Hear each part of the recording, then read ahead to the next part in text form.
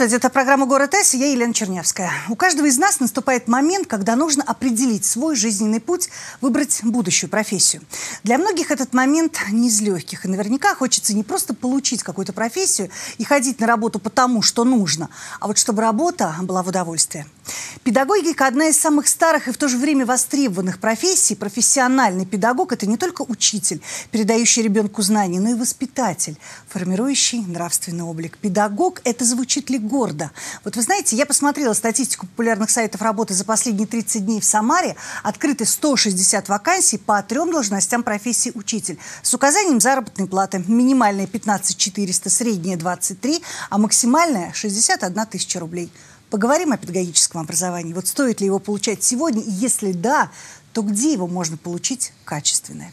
Я представляю гостей в студии, проректор по дополнительному образованию, профориентационной работе и связям с общественностью, кандидат исторических наук, доцент Самарского государственного социально-педагогического университета Алексей Борисович Щелков и проректор по учебно-методической работе качества образования, кандидат филологических наук, доцент Самарского государственного социально-педагогического университета Наталья Николаевна Кислова. Здравствуйте, уважаемые гости. Здравствуйте. Приятно вновь в этом году с вами встретиться в этой студии. Спасибо большое, что нашли время а, и пришли поговорить о теме, которая сегодня у нас задана. Так вот, Алексей Борисович, что изменилось в приемной кампании 2020 года из-за ограничительных мер по коронавирусу? Э, изменилось достаточно э, серьезно э, приемной кампании, ее, прежде всего, ход. Изменились сроки, сроки окончания приема документов. Изменилась также форма подачи документов. Изменилось, изменилось как будут проходить э, формы проведения вступительных испытаний, как будут проходить вступительные испытания.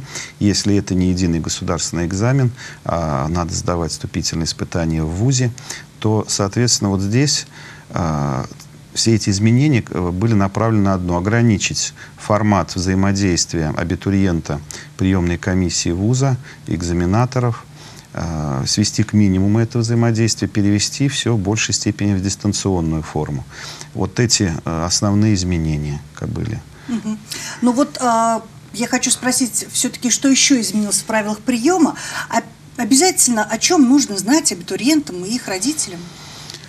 Ну, я бы, э, так сказал, э, применительно к нашему вузу, э, прежде всего хочется об этом сказать.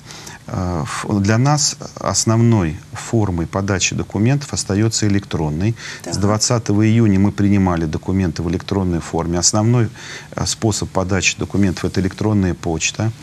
И большинство абитуриентов этим способом пользуются. Еще можно отправить по Почте России. До этой недели а, никаких других а, по решению приемной комиссии возможности подать документы не было. Вот с этой недели, со среды, а, решением приемной комиссии можно будет подать документы в приемную комиссию и лично. Прежде всего, мы обращаемся к нашим абитуриентам, к тем, у кого есть затруднения в под, при подаче документов в дистанционной форме, в электронной форме. Поэтому можно будет прийти в приемную комиссию, но при этом надо помнить несколько моментов. Первое. Нужно предварительно позвонить э, в отборочную комиссию факультета вас интересующего. У нас на сайте есть горячая линия. Э, все 10 факультетов имеют каждый свой индивидуальный номер телефонный, поэтому нужно связаться с интересующей вас отборочной комиссией, договориться о времени визита, э, когда вы сможете прийти, и, соответственно, э, прийти в приемную комиссию в оговоренное время, Естественно, при себе надо иметь средства э, профилактические, которые, ну, маску ту же да, самую. индивидуальная защита. Да, индивидуальная mm-hmm. защита для того, чтобы можно было нормально подать документы. Мы поможем, подскажем. И в данном случае вот это э, надо иметь в виду можно, но мы, еще раз повторюсь, э, призываем абитуриентов пользоваться электронным вариантом подачи документов. И в том случае, когда это по каким-то причинам невозможно или ну, не получается, тогда, пожалуйста, мы поможем, спросим в приемную комиссию прийти. Хорошо. Наталья Николаевна, вот за качественное образование все-таки невозможно без качественного приема, конечно. О каких о современных тенденциях в развитии педагогического образования СГСПУ можно говорить сегодня? Вы знаете, мы университет, который очень внимательно следит за теми изменениями, которые происходят не только в системе российского образования, но и за рубежом. Безусловно, мы понимаем, что бесследно вот несколько месяцев удаленного, скажем так, обучения не прошли ни для системы высшего образования, ни для системы общего образования. Мы прекрасно понимаем, что сейчас мы получим немного других абитуриентов. Конечно. У них есть другой опыт. Положительный он, либо отрицательный, об этом судить трудно. Но уже мы и так наблюдаем изменения вообще как бы детей и молодежи. Да? Соответственно, сейчас в любом случае придут абитуриенты с немного другими цифровыми навыками. И поэтому университет, безусловно, готов к тому, что они уже почувствовали плюсы и минусы удаленного обучения. И сейчас, конечно, в системе образования наблюдается прежде всего тенденция, э, связанная с внедрением смешанного обучения.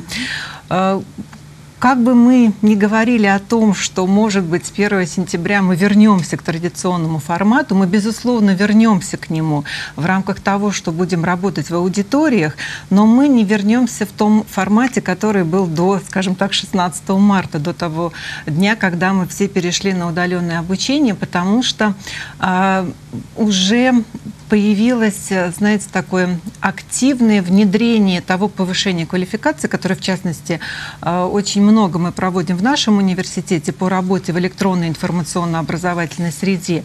И то, что, может быть, до какого-то момента не было очень востребовано, в эти вот 4-5 месяцев стало востребованным, и э, сейчас другой преподаватель. В любом случае он приобрел иной опыт, и от этого опыта он уже отказываться не будет, я могу сказать об этом 100%, потому что разговаривая с преподавателями, уже обобщая опыт работы университета вот во втором полугодии этого учебного года, мы пришли к выводу о том, что оставим некоторые технологии, в том числе и при очном, там, заочной форме обучения, потому что э, мы увидели их результативность. Ну а какой положительный опыт, я вот а, хочу у вас спросить, вы знаете, за такое короткое время а, достаточно? Мы, во-первых, э, удаленное обучение, как ни странно, увеличило посещаемость занятий. Ну, потому что, да, соответственно, студенты э, имели возможность достаточно оперативно подключаться к учебным занятиям, которые у нас в университете все были организованы именно через видеоконференц-связь. Мы не потеряли, скажем так, ни одного практического занятия, ни одного лекционного занятия.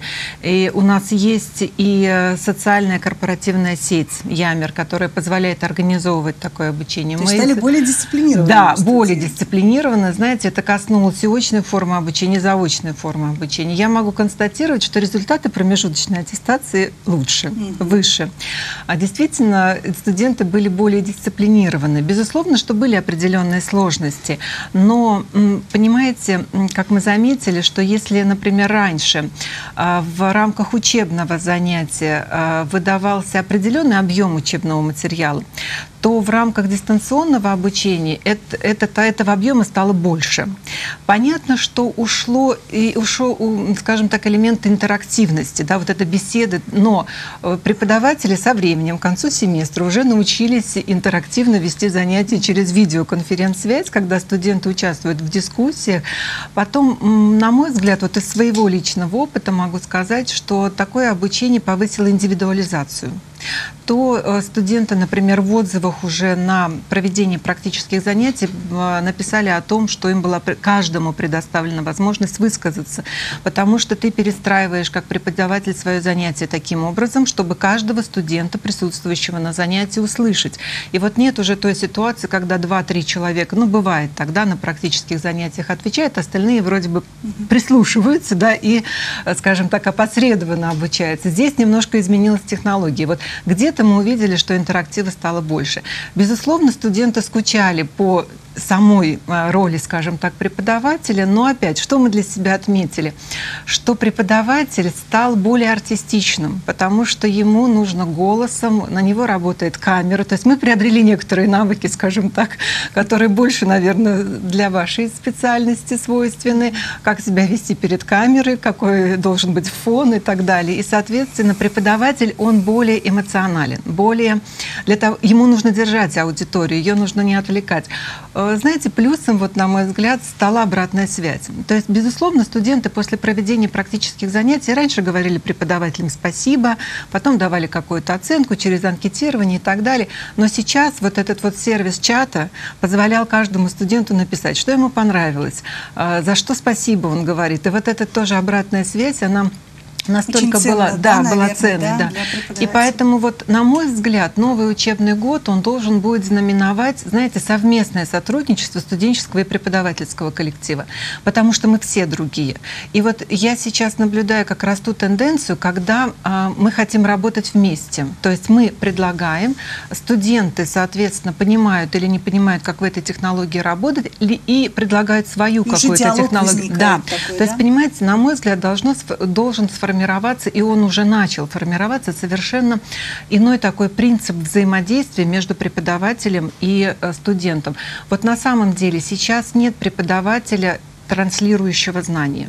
Есть преподаватель, который совместно с со студентами эти знания осваивает, помогает им осваивать. И вот это вот удаленное обучение, как, знаете, научило нас этому, потому что ты уже понимаешь, что ты не можешь час двадцать, э, видя аватарки перед глазами, только рассказывать. Да? Ты должен свою лекцию построить таким образом, чтобы студенты к ней постоянно подключались, чтобы они, ну, скажем так, не пили кофе, да, а все больше работали. Но вот, на мой взгляд, это вот одна тенденция, которая будет э, не только для педагогического образования, для вообще всей системы образования.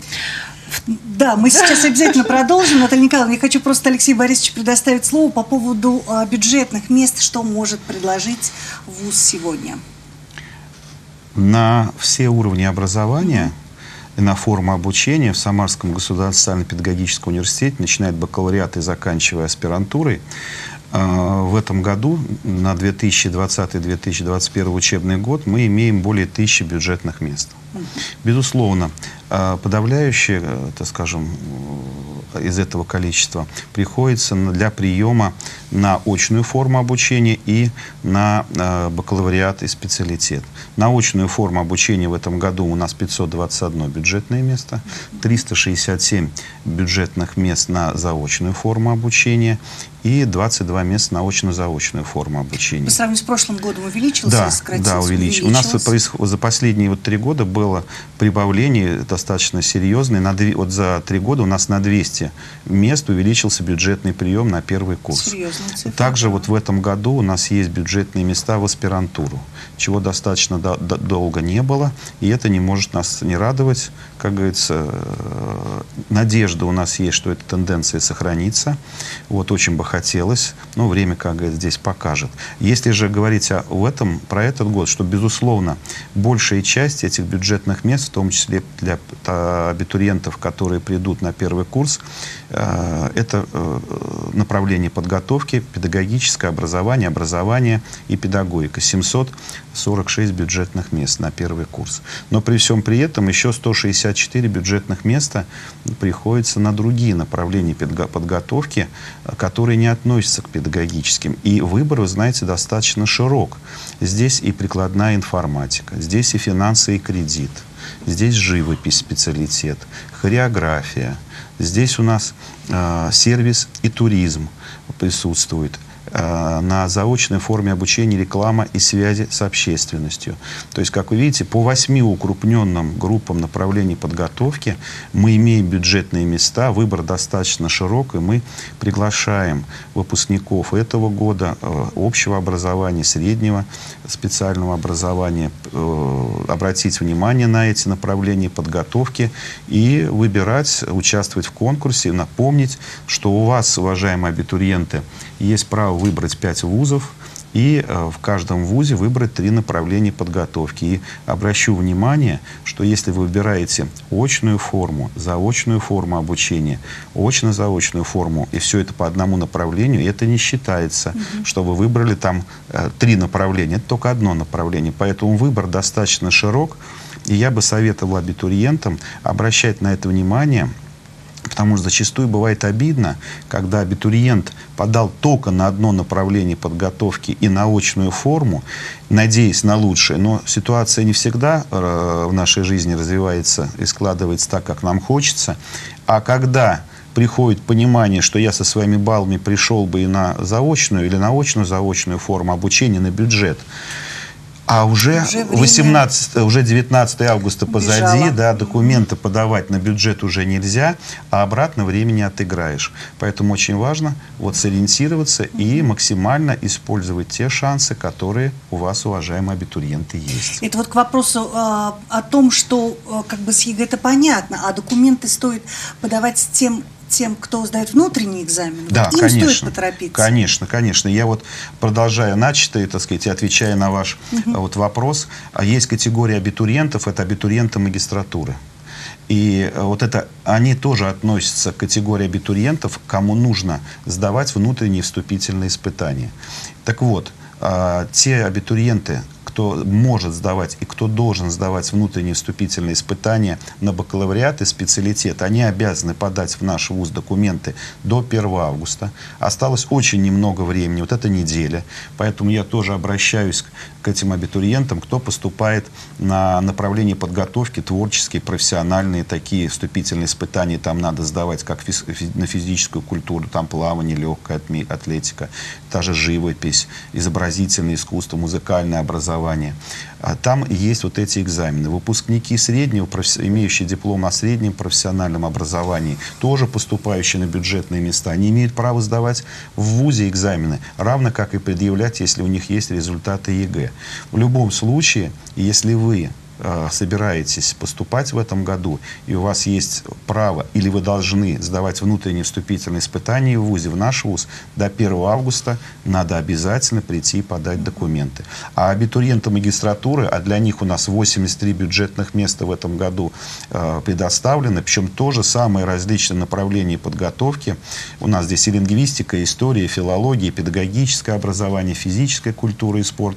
Им необходимо, как вот э, мы уже говорили, деле, да, дипломы все получены, вручены э, о высшем образовании. Вот, э, поэтому надо, э, имея диплом бакалавра, если кто-то планирует дальнейшее свое образование продолжать, до 5 августа в приемную комиссию нашего университета прийти и подать документы обязательно для того, чтобы участвовать в конкурсе на бюджетные места. Мы приглашаем всех ребят, кто в этом году закончил бакалавриат, получил диплом, прийти и участвовать в конкурсе на бюджетные места. Ну вот, а, Наталья Николаевна, с учетом того, а, что мы говорили о тех изменениях, ну и вообще о другом э, образе обучения, что ли, если можно так выразиться. Скажите, пожалуйста, вот сегодня, на ваш взгляд, в 2020 году сложно поступить в СГСПУ? Я думаю, что сложностей особых нет, потому что приемная комиссия готова к приему документов. Мы готовы к этому технологически, мы готовы к этому кадрово, мы готовы к этому методически. И здесь главное следовать инструкциям. Потом Алексей Борисович сказал, работает горячая линия, поэтому все вопросы, которые возникают по тому, как поступать, как подавать документы, круглосуточно можно задать. Работают у нас э, самые разнообразные э, информационные центры, в том числе вот в рамках, э, кстати, перехода на дистанционное обучение, мы создали отдельный такой информационный центр, где студенты могут задавать самые разнообразные вопросы, в том числе они это задавали в период обучения, организации обучения, и в том числе и в рамках приемной кампании, когда, э, собственно, мы потом переадресуем вопросы информационного центра на горячую линию. Поэтому, на мой взгляд, поступать как обычно, вот, тем более, что все равно мы видим, что абитуриенты тоже освоили новые технологии. Я надеюсь, что здесь ни, никаких проблем не будет. А, самое главное, что мы их всех ждем 1 сентября. Вот в дополнение к Алексею Борисовичу по программам магистратуры, опять же о тех новых технологиях, которые вошли в нашу жизнь, я думаю, уже из нее не уйдут. Вот еще до пандемии, до того, как возникла необходимость в переходе на удаленное обучение, мы анонсировали программу магистратуры, которая называется «Управление образовательным процессом в условиях цифровизации образования» образования. А, э, эта программа была вызвана прежде всего и теми законами, постановлениями, которые были приняты в рамках развития цифровой экономики, повышения там, компетентности, развития цифровых навыков. И эта вот программа, мы планировали ее реализовывать исключительно удаленно, дистанционно, с применением электронного обучения. Мы подобрали технологии уже, мы подобрали а, кадровый состав, мы определили содержание образования. Понимаете, понимаете, вот она оказалась, ну, просто, на мой взгляд, вот к месту, вот как говорится, потому что сейчас система общего образования как раз находится вот в этой в период трансформации, цифровизации образования, и мы готовы магистрантов подготовить к тому, чтобы если вдруг при каких-то, ну, опять же, условиях, да, на какой-то период школа будет вынуждена перейти на удаленное обучение, мы уже дадим им выпускников, которые сделают это качественно. Вы знаете, мы Ты были... так подстроились. Да, ну, мы предугадали. Да, к ситуации да, да, да. Более того, эта программа, она не только рассчитана на самарских э, бакалавров, которые закончили, да, этот уровень, но и, собственно, на всю Российскую Федерацию и на зарубеж. Мы готовы обучать большое количество студентов, и у нас есть очень хороший хороший опыт. У нас есть специализированные кафедры. У нас, э, соответственно, вот, кстати, в качестве того, что мы это умеем делать. Э, мы очень рано вошли в проект, который называется «Волонтеры просвещения», и э, оказались наши студенты очень востребованными образовательными организациями Самарской области, не только Самарской области, потому что у нас есть с Приморским краем очень хорошие контакты, с Ханты-Мансийским округом, и наши студенты из Самарского государственного социально-педагогического университета оказались востребованы как волонтеры просвещения на территории всей России Российской Федерации. Мы помогали учителям разрабатывать контент, мы помогали переводить им, соответственно, занятия вот в тот формат, который необходим. Мы а, предоставляли им отбор методических материалов, ну, как бы, знаете, такую предварительную экспертизу, потому что мы сейчас понимаем, что образовательных ресурсов много, но они пока не сертифицированы, и поэтому учителю достаточно сложно разобраться вот в том количестве образовательных ресурсов, которые есть, а мы уже делали предварительный анализ и, собственно, давали возможность из небольшого большого э, как бы так, перечня выбор, чтобы более качественно преподаватель мог подготовиться.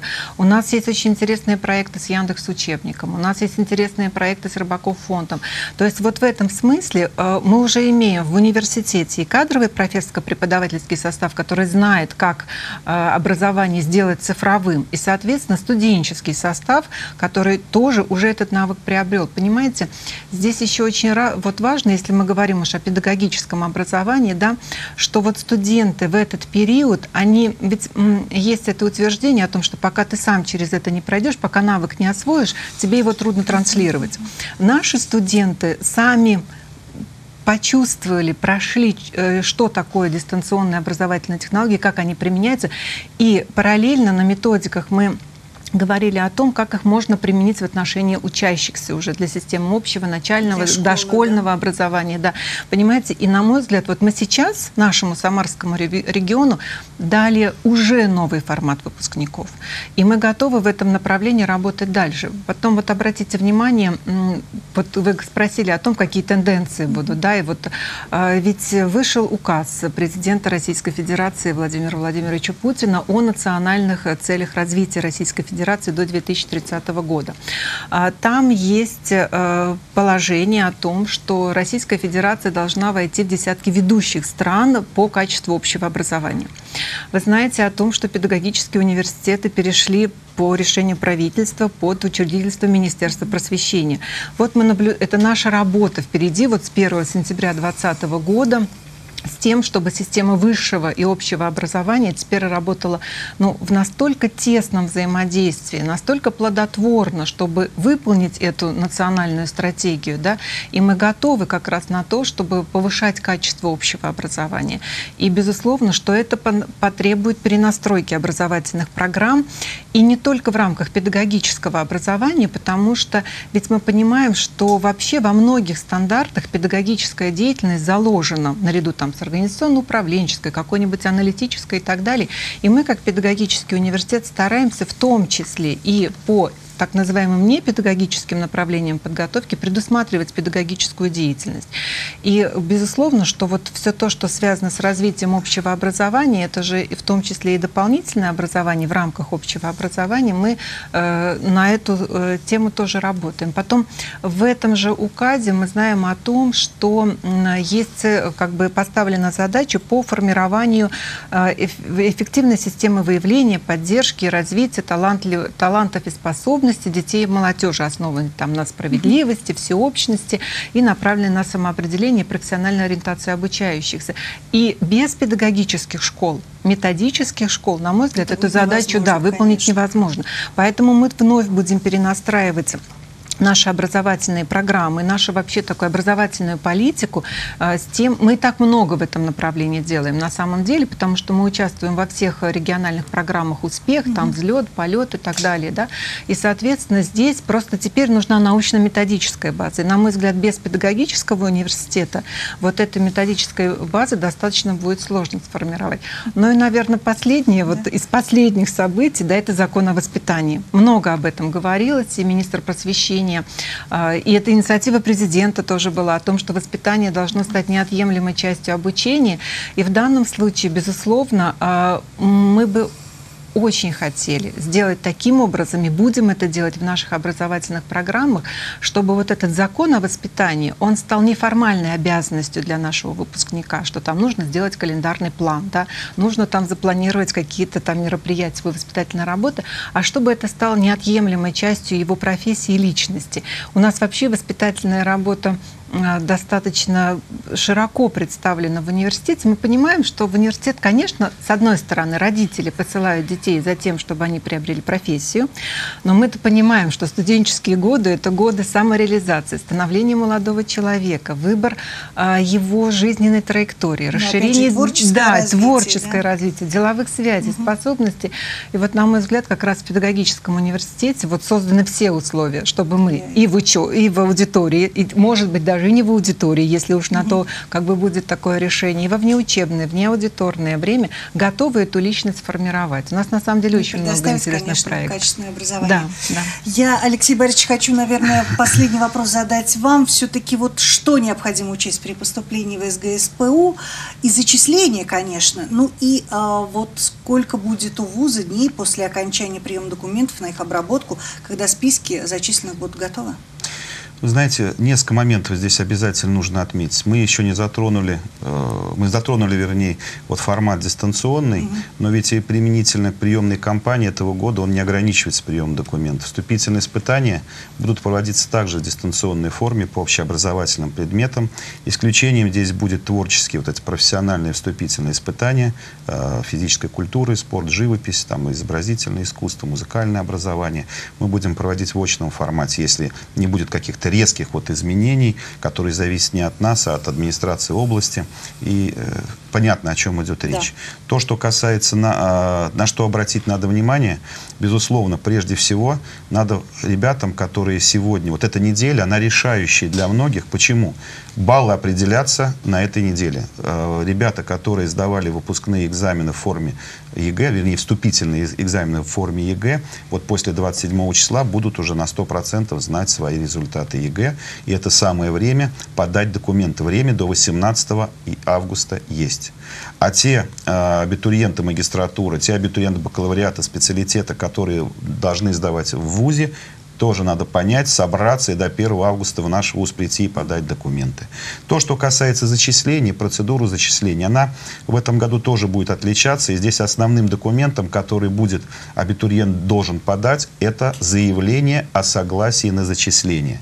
А, для этого у него будут специальные дни. Зачисление в этом году пройдет очень легко запомнить 22, 24 и 26 августа. Это выйдут приказы о зачислении. А вот накануне два дня, накануне два дня перед 22, накануне два дня перед 24 августа и накануне два дня перед 26 августа, это дни, когда абитуриент решает, на какие направления подготовки он будет подавать свое заявление о согласии на зачисление. У него есть право каждом вузе, вот только в одной организации образовательной, два раза подать это заявление о согласии на зачисление. И если он этого не сделает, согласие не подаст, он зачислен не будет, даже если баллы у него будут хорошие. Оригинал документа об образовании, как это было в прошлые годы, сейчас для зачисления не требуется. Его нужно будет предоставить в образовательную организацию уже после того, как ты станешь студентом, обязательно нужно будет оригинал привести и в отдел кадров, так сказать, студенческий предоставить поставить. Угу. Поэтому, э, говоря вот в завершении, обязательно угу. сейчас всем нужно собраться ребятам и э, четко понимать, что ему нужно, ориентироваться на свои баллы и подать документы том числе и в наш Самарский государственный социально-педагогический университет. Спасибо вам большое а, за ту информацию, очень интересную, которую вы пришли а, поделиться с нашими уважаемыми телезрителями. Но я думаю, что выбор здесь очевиден. И спасибо всем тем, кто был сегодня с нами. Вы смотрели программу «Город С». Всего хорошего. До свидания. До свидания.